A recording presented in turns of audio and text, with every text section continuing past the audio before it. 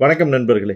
உங்கள் எம்எஸ் அண்ணா பல்கலைக்கழக கல்லூரிகளுக்கு நடக்கக்கூடிய டிஎன்ஏ டுவெண்ட்டி டுவெண்ட்டி டூ இந்த கவுன்சிலிங்க்கான ஏற்பாடுகள் பற்றி என்னென்ன ரெடி பண்ணி வைக்கணும் எப்படி கவுன்சிலிங்கில் கலந்துக்கணும் அப்படிங்கிறத பற்றியெல்லாம் தொடர்ச்சியாக நம்ம வீடியோக்கள் மூலிமா உங்களுக்கு வந்து கைட்லைன் கொடுத்துக்கிட்டு இருக்கிறோம்.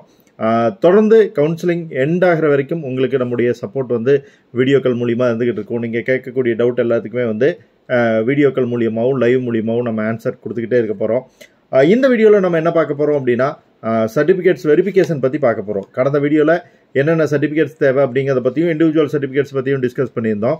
இந்த வீடியோவில் சர்டிஃபிகேட் அப்லோட் பண்ணுறது பற்றியும் சர்டிஃபிகேட் வெரிஃபிகேஷன் பற்றியும் பார்க்க போகிறோம் ரைட் சர்டிஃபிகேட் என்னென்ன தேவைங்கிறது எல்லாத்தையுமே ரெடி பண்ணி வச்சுருவீங்க. ஏன்னா ஒவ்வொரு கேட்டகரிக்கும் ஒவ்வொரு சர்டிஃபிகேட் தேவைப்படும்.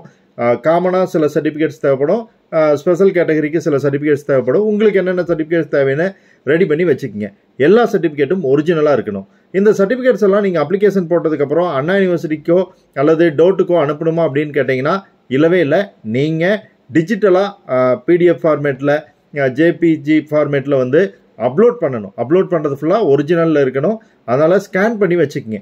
உங்களோட எல்லா சர்டிஃபிகேட்ஸையும் ஒரு ஸ்கேன் காப்பி வந்து எப்போவுமே ரெடிமேடாக வச்சுக்கோங்க. ஜெராக்ஸ் போதுமான அளவுக்கு போட்டு வச்சுக்கோங்க. அப்புறம் நீங்கள் இந்த அப்லோட் பண்ணதுக்கு அப்புறம் ஒரு டைம் உங்களை என்ன பண்ண சொல்லுவாங்கன்னா டிஎஃப்சி சென்டர்ஸ்க்கு வந்து ஒரிஜினல் சர்டிஃபிகேட்ஸ் எல்லாம் கொண்டுகிட்டு வர சொல்லுவாங்க. எல்லாத்தையும் ஒரிஜினல் சர்டிஃபிகேட்ஸ் கொண்டுகிட்டு வர சொல்லுவாங்க. So TC mark sheet community சர்டிஃபிகேட்ல இருந்து எல்லாமே ஒரிஜினல் கொண்டுக்கிட்டு போகணும். அங்கே போய் வெரிஃபை பண்ணி எல்லாமே ஓகே அப்படின்னா தான் உங்களுக்கு அடுத்த கட்ட ப்ராசஸ்க்கு வந்து அலோவ் பண்ணுவாங்க. டிசியை பொறுத்த வரைக்கும் மட்டும் சிலருக்கு கன்ஃபியூஷன் இருக்கும். நீங்கள் ஏற்கனவே ஒரு கோர்ஸ் ஜாயின் பண்ணியிருப்பீங்க அன்எக்ஸ்பெக்டடாக என்ன பண்ணியிருப்பீங்க அப்படின்னா என்ஜினியரிங் வரணுங்கிறதுக்காக அந்த கோர்ஸை டிஸ்கன்யூ பண்ணியிருப்பீங்க அப்போ உங்ககிட்ட ப்ளஸ் டூ டிசி இருக்காது. நான் என்ன பண்ணுறது அப்படிங்கிற கேள்வி நிறைய பேர்த்துக்கு இருக்குது ஏற்கனவே நம்ம இது சம்மந்தமாக வீடியோ போட்டிருக்கோம்.